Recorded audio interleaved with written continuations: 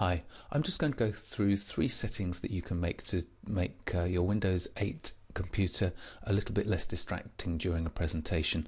So the first one is um, up on the uh, Windows 8 Start menu and uh, you can see I've got some live tiles set up here. Now uh, currently only the photos uh, is showing um, live content that's from my mobile phone camera uploads but uh, the mail, the calendar, the people shows uh, live updates from uh, a social network and that can be distracting. If you want to just clear all of that content away you can swipe in from the right hand side and choose uh, settings and uh, up here for uh, tiles you've got the option to clear personal info from tiles, just press that and you come back to a, a vanilla state, less distracting. And uh, I think those tiles will stay in that state until you interact with the tile again. And uh, then after you've started interacting with those tiles, when they get new updates, then they'll, they'll start populating again. Um, just swiping in and bringing up the settings again, you can see there's a, a, notifications option down here at the bottom and you can choose to uh, disable notifications for uh, either one, three or eight hour um, periods.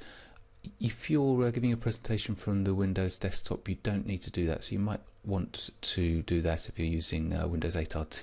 But if you're giving um, a presentation from a desktop version of Windows, you come into the desktop and use the presentation settings. So there are two ways to get to the presentation settings quickly. One way is actually from the start menu.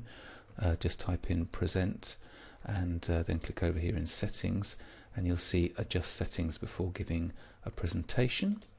I can click on that and come in here and you can toggle um, presentation settings on or off here and also change some of the default values. Um, and what the presenter settings do is disable toast notifications and uh, Windows uh, 8 start menu notifications from interrupting the presentation. So I'm going to leave the um, I am currently giving a presentation setting on uh, checked and now I've got um, an icon down here in the status menu where I can switch uh, the presentation settings off, stop presentation, or get back into that configuration UI. Uh, the other way to get into the presentation settings is using a, a shortcut key, um, the, the Windows flag key and the letter X and uh, you press that you get the advanced options and mobility center uh, gives you another shortcut into the presentation settings. So you can see here I've got a quick um, toggle button to switch presentation settings on or off the final tip um, is uh, to do with the the icons displayed on the desktop. Now they can be distracting if the audience are sitting and looking at the icons, wondering why you have particular items on your screen or intrigued by the programs that you're using.